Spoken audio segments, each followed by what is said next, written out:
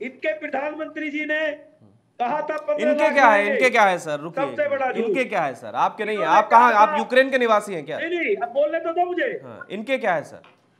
प्रधानमंत्री तो देश का होता है ना।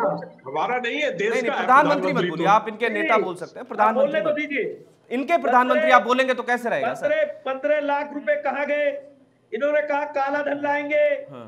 सबसे बड़ा झूठ हाँ। इन्होंने कहा दो करोड़ चार करोड़ नौकरियाँ देंगे विपिन जी, आप ही के पास आ रहा हूँ। विपिन जी, इसके बाद आप ही के पास की बात करी तमाम झूठ भारतीय जनता पार्टी ने बोला ये मैं नहीं कह रहा हाँ ये उत्तर प्रदेश की बोली वाली जनता को पता है और इनका हाँ। इसी वजह से हाँ। उत्तर प्रदेश ने इनका खदेड़ा मचा दिया है ये बड़े परेशान हैं अब इनको ये नहीं समझ में आ रहा करे तो करे क्या?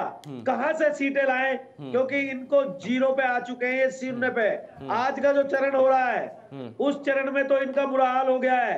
इन्होंने सोचा थोड़ी बहुत सीटें यहाँ आ जाएँगी लेकिन इनकी स्थिति इतनी दयनीय है कि इनके नेता आपस में ही लड़ाई कर रहे हैं। आपस में ही लड़ रहे हैं कि ये तेरी वजह से हो रहा है ये भैया मेरी वजह से हो रहा है। तो इनको कहने की बात नहीं है ये तो उत्तर प्रदेश की जनता तय कर चुकी है और उत्तर प्रदेश की जनता ने और लड़ाई और आपस में लड़ाई से कितना नुकसान होता है आपस में लड़ाई से संजीव चौधरी जिस दिन किसानों संजीव चौधरी साहब चर्चा चर्चा कर। रहे हैं रख दिए थे बिल्कुल, बिल्कुल। इस प्रदेश को पूरे देश को ठीक है ठीक हिला के रख दिया ठीक ठीक। संजीव चौधरी साहब संजीव चौधरी साहब आपने कहा संजीव चौधरी साहब जैसे बाईस आए तो इनको भगाए यहाँ से।